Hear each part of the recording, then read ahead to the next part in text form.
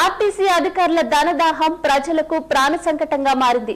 బుధవారం ఉదయం నిర్మల్ నుండి మంచిర్యాలకు బయలుదేరిన నిర్మల్ డిపో బస్సు నిబంధనలకు విరుద్ధంగా సుమారు యాభై మంది ప్రయాణికులను తీసుకెళ్తూ మంచిర్యాల జిల్లా లక్షదిపేట్ బస్టాండ్లో మీడియా కంటపడింది. ఈ బస్సులో ఎలాంటి భౌతిక దూరం పాటించకుండా ప్రయాణికులు పక్కపక్కనే కూర్చుని ప్రయాణం చేస్తుండటం గమనార్హం. కరోనా కేసుల ఉధృతి కొనసాగుతున్న నేపథ్యంలో ఆర్టీసీ సిబ్బంది నిర్లక్ష్యంగా వ్యవహరించడం పట్ల ప్రజల నుండి విమర్శలు వ్యక్తమవుతున్నాయి.